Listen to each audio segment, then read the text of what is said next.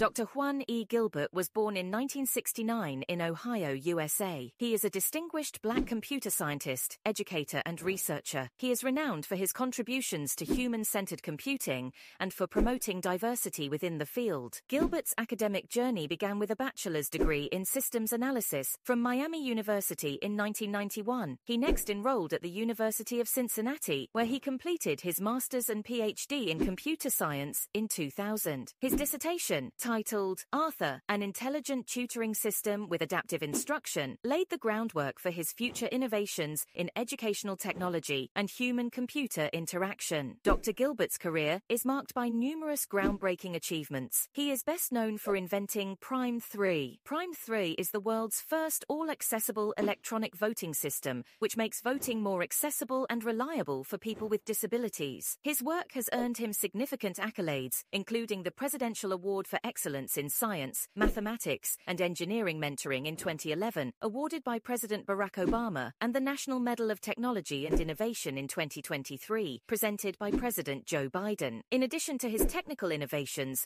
Dr. Gilbert has been a strong advocate for increasing diversity in the computing sciences. He has implemented various initiatives to encourage underrepresented minorities to pursue careers in technology. His efforts have led to the establishment of the 1E Gilbert PhD Distinguished Lecture Series at Auburn University. Dr. Gilbert is currently the Andrew Banks Family Preeminence Endowed Professor and Chair of the Computer and Information Science and Engineering Department at the University of Florida. There, he leads the Computing for Social Good Lab, focusing on developing newer technological solutions that address diverse societal challenges